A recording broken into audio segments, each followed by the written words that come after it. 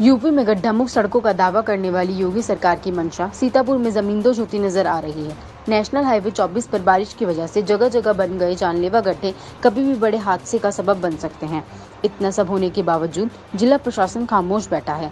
Highway पर वाहन चलते रहे, इसलिए उन्हें कस्बा मोहाली के अंदर से निकाला जा रहा है, जिससे दुर्घटना की संभावना बन गई है।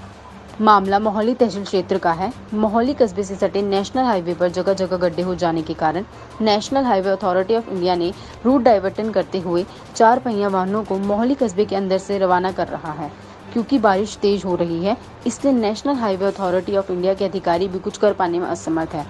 इस परिप्रेक्ष्य में एसडीएम मोहाली सुश्री शैरी से वार्ता की गई तो उन्होंने कहा कि इस बाबत कार्रवाई के लिए शासन को पत्राचार किया गया है। शीघ्र हाईवे को दुरुस्त कर दिया जाएगा।